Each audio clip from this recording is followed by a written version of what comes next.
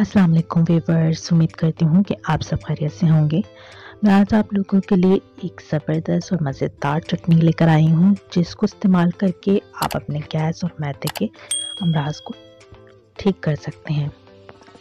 अगर ज़्यादा खाने पीने या मुरखन गज़ा खाने के बाद आपका मैदा ख़राब हो गया और गैस की प्रॉब्लम भी हो रही हो आपको तो आप ये चटनी बना के रख लीजिए और इसको अपने खाने में इस्तेमाल कीजिए। इससे आपकी गैस की और मैदे की तमाम प्रॉब्लम हल हो जाएँगी।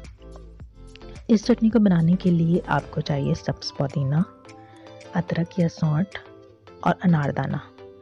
आपने ये तीनों अज्जा हम वज़न लेना है और इसको खूब बारीक सा पीस लेना है और इसके अंदर आपने और कोई चीज़ शामिल नहीं करनी। अगर आप चाहते हैं कि ये थोड़ी सी नमक वगैरह डाल के इसका टेस्ट अच्छा किया जाए तो वो आप शामिल कर सकते हैं। या थोड़ी सी आपने काली मिर्च शामिल करनी है तो वो आप शामिल कर सकते हैं। और फिर इसको पीस के आप किसी ड्राई बॉटल के अंदर रख लें, ताकि ये ख़राब ना हो। रोज़ाना इसको सुबह शाम अपने खाने में शामिल कीजिए। इस चटनी को इस्तेमाल से आपके मैदे के मर्ज ख़त्म हो जाएँगे।